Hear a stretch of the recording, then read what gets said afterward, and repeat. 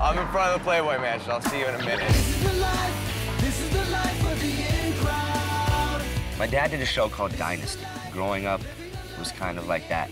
Today is a normal day. It's business. We have a lot to do. Johnny! Hello, freak! My mom is Alana Stewart. My dad is Rod Stewart. And I like walks on the beach and I like romantic dinners. How was the party? Let me see. Let me see. Oh, he's done.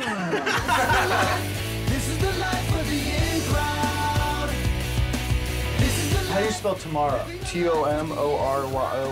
There's a lifestyle and there's a small niche group of people that are kind of in that. And that is the environment that Sean, Randy, and I grew up in. Oh, hi, Miss Hilton. I did come over and say hi to you.